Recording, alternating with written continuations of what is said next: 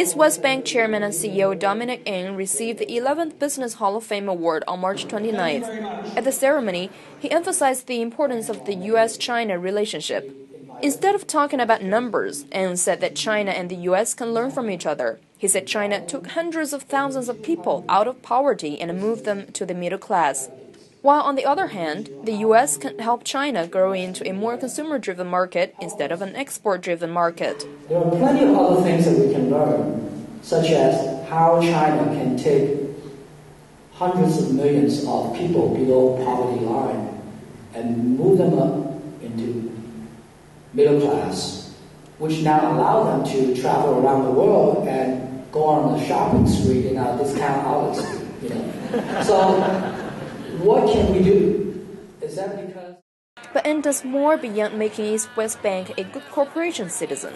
Maria Wiest of United Way of Greater Los Angeles has worked with Ng for the last nine years.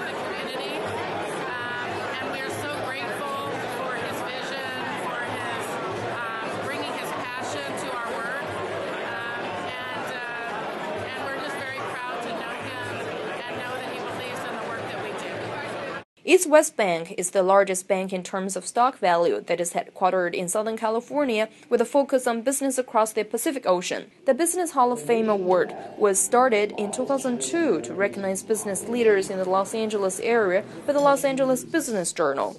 Previous honorees include Edward Roski, who owns the Lakers, and Andrew and Peggy Cherng, founders and owners of Panda Restaurant Group. China Daily Los Angeles Bureau, Wang Jun reports.